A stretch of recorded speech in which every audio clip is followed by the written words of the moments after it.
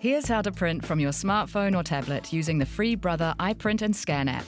It makes printing easy from almost any smart device. This is an Android phone, but the steps are pretty similar for all Apple and Android devices. First, you need to go to your Play Store or App Store. Search for Brother iPrint and Scan, select, and install, and accept. Once it's installed, open the app. Read and accept the license agreement. The first time you use the app, it'll need to connect to your printer. Press Select Now, and your app will find it for you. And then you choose your printer. It will now be automatically available every time you use the app. Now choose the print option you would like, for example, photo, document, or email. To print a photo, choose the image you want to print. Here you can click the settings icon to choose what kind of print you would like and how many.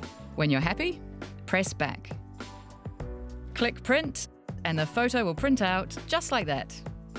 To print another document or image, press the back button and select your next item.